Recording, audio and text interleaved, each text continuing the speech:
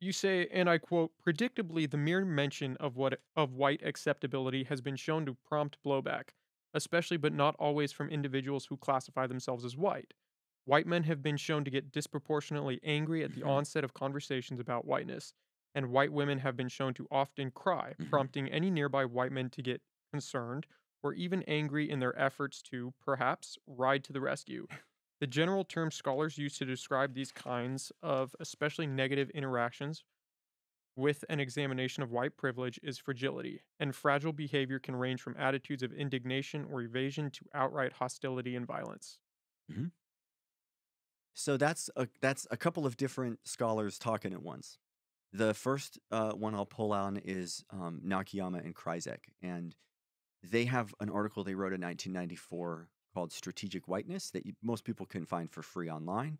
Hard to read, Quarterly Journal of Speech, not nice, but it's packed with peanuts. I say, if you can make it simpler and not get not lose anything in the article, you're famous as far as scholarship is concerned. Go for it. But their article, we read it in my class. It's pretty straightforward. And one of the, the questions that they tracked was just what happens when we ask people if they are white? What does that mean? And um, they found six different kinds of responses. Uh, I don't want to talk about it. One of them, it's just a color. It's just what color I am, is another one. Uh, it's a nationality, means I'm from Ireland, from Canada, from the United States. Um, it's a couple of different things that they list. There's six of them. And when they did this study and they put it out, they're like, here's our research and here's how we did it and here are our findings. And since then, the Google Scholar thing is like thousands of people have looked at this article and it replicates really, really well across space and through time. In terms of the one thing that we take away is that the six forms are fairly robust and none of them want to look at whiteness. They are all dodging, they're all evading. They're all saying somehow let's not talk about what it actually means. And at some point in the class, someone's like, well, what does it mean? And we can talk about those histories of privilege and, you know, you know, it would mean talking about the KKK. It would mean talking about my wife's family in Norway. It would, you know, but that's not all it would mean. There's a big conversation there. But when the six ways that we respond are all some kind of a dodge, that is interesting. That tells us something. Um, one of the the most robust responses they they got was, "I'm not playing. I'm not playing." A rejection, and they said that this comes in two forms. That particularly men seem to get angry, and women cry. And that particular thread of that study has been pulled on by many people since.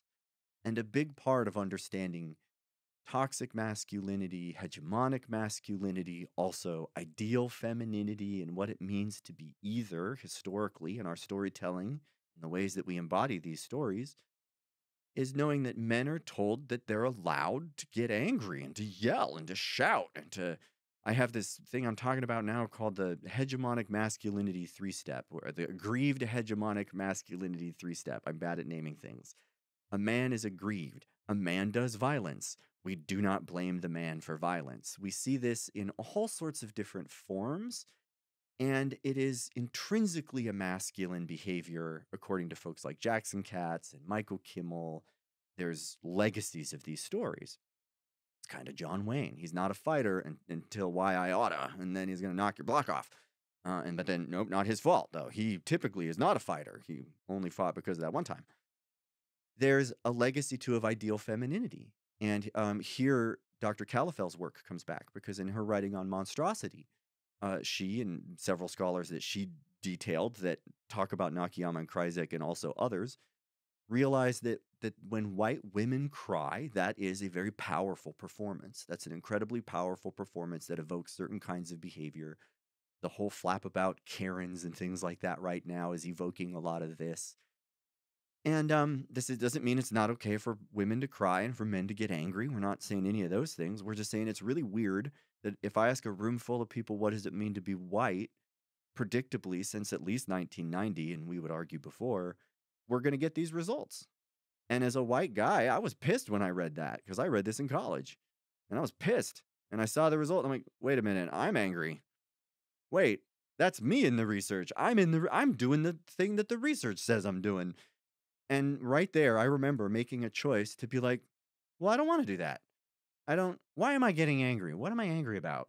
And I started really asking those hard questions about where that anger came from and what am I trying to protect and what am I upset about? And there's so much research on how to engage whiteness critically, you know? But that's what that's pulling on is to be like, and I'll say that I've seen this too. And my, my, my colleagues just incidentally, allegorically, as a debate coach, weaker argument, but I've taught for a while in front of a lot of people. I've taught in Northern California. I've taught in Denver, Colorado. I taught in Eugene, Oregon, uh, Kennewick, Washington, Vancouver, Washington. I've moved all over the place at public schools, at private schools, at two year schools. I coached at a uh, maximum security prison once. And whiteness conversations prompt fragile responses. This speaks to my experience, it speaks to my colleagues' experience, it's in the research. One thing I try to say more and more and more is that in the book I say this means I'm not intrinsically a terrible person. It means I have learned some things that I need to think about. And um, part of me looking at this media is trying to understand that. The the aspect of white women crying, you don't attribute that any of that to it just being a woman crying? That if you were to see a woman crying, you would be inclined Yeah. to go Well, see what's going on? if you engage the research and, and Calafell's really good at this, she's like, if it's a Latino woman, she doesn't get treated the same way. If it's a black woman, she doesn't get treated the same way. If it's an indigenous woman, she doesn't get treated the same way. The the women's tears prompt racialized responses. This too is pretty robust. And I think there it's a good example of where it's like, what is the objective question of at which point do people cry? Okay, fine. What does it mean to cry? Who can cry and when and how? Those are very important power questions that no one's sitting around enforcing the rules. No one's like, ha ha ha, we'll make it so only white women can cry. That's not how it works. But there are definitely, definitely, and we know it because it's in our, our legal documents, it's in our religious documents, it's, it's everywhere we look. There's legacies of saying that that certain performances are different than other performances and that certain ways of being are different than other ways of being when you look at just the differences between masculinity and femininity, this is really, really important. Like, can can men cry? You know, how come more men aren't crying? One of the questions I ask people that watch hip hop videos is, has anyone seen Eminem roll around on a floor? I've never seen Eminem roll around on a floor. Most women hip hop artists, they spend a lot of time rolling on floors. I've seen that happen. Why isn't Eminem rolling on floors? What's I didn't know on? anybody was rolling around on floors. Yeah, it's it's a posture that you see in a particular era of hip hop of that time, and this is coming from uh, gender, race, and class in the media, the Dines text.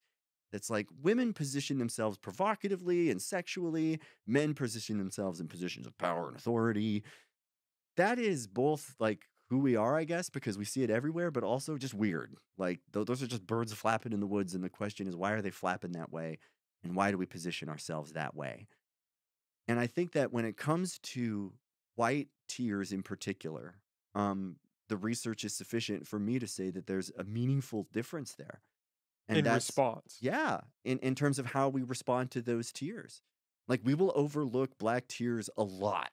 That research is pretty robust, where it's like when black people cry, we tend to say they're either overreacting or we say they're probably responsible for it somehow, or we'll say it's none of my business. I don't know that person and it's none of my business. Um, you get different political responses depending on who's crying and when. Do you think any of that is changing? Because you do have that persona of the white Karen now, Mm-hmm. where there's this white woman overreacting and people just kind of brush it off. Well, what uh, feminist scholars say is that uh, one of the things that, that scholarship is supposed to do is articulate something, and naming something a Karen is a good example of articulation. Like toxic masculinity was not a thing until someone described it. And when they describe it and they give us the recipe, then I can be like, I don't want to be that person anymore. Thank you, critical consciousness, for helping me, you know, look at my life and say, I don't want to do this, this, this, this, or this.